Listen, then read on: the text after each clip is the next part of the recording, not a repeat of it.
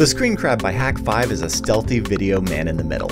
This covert inline screen grabber sits between HDMI devices, like a computer and monitor, or console and television, to quietly capture screenshots.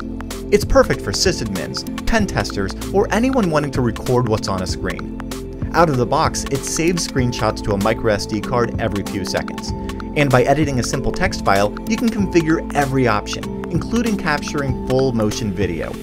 Planting the screen crab is easy. Just plug it in, power by USB, pop in a card and get instant feedback from the multicolor LED. Coupled with a large microSD card, you can discreetly save nearly a year's worth of data. And with the screen crab, remote monitoring is built right in. Connected to the internet over Wi-Fi and exfiltrate those screenshots, or watch the video signal live from anywhere online with Hak5's Cloud C2. Screen Crab, covert inline screen grabs.